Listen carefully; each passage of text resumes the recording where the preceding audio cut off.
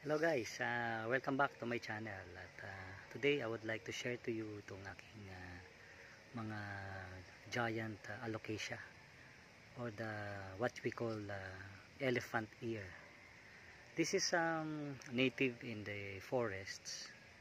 Pero once you bring it to the urban place sa mall or sa mga garden area nagkakahalaga na ito ng um, more than yung iba nasa 10 20,000 or more depende sa um, variety or yung presentations no? and um, this is common in the forests pero ito inaalagaan ko rin no? tulad nito this uh, this uh, allocation beside me is this one is this big nakikita nyo yung kamay ko napakaliit para sa sa kanya no at itong uh, makikita nyo itong nasa ulo ko. Eh, buong katawan ko ang pwedeng takpan ano? Ayan. Lalo na ito no hmm. talagang uh, matakpan na. Matakpan na yung buong katawan ko pagka parang payong na siya no? pinakapayong at uh, pati yung aking uh, sapatos makikita nyo masyadong maliit para sa sa laki nito no? at uh, you know guys um, this is also a gift of nature no? titur ko kayo marami pa rito sa area okay. okay ito pa yung isa dito lang siya sa sabi ng uh, creek Ayan. Hmm. marami sila actually ito Ayan, no?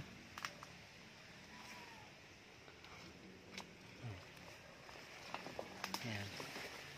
And you go there. Oh. Ayan. Kita nyo ito, oh. Laki. Oh. No? Halos sa ito, oh, katawan na ng tao itong laki niya.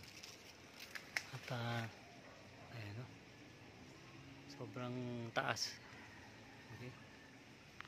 Ayan. So marami sila rito uh, nakaikot at um, uh, andyan lang sila they're getting bigger and bigger no? as the rain goes at uh, I plan to put some sa paso at uh, i-display doon sa area where people can appreciate this rather than nandito sila sa forest side no?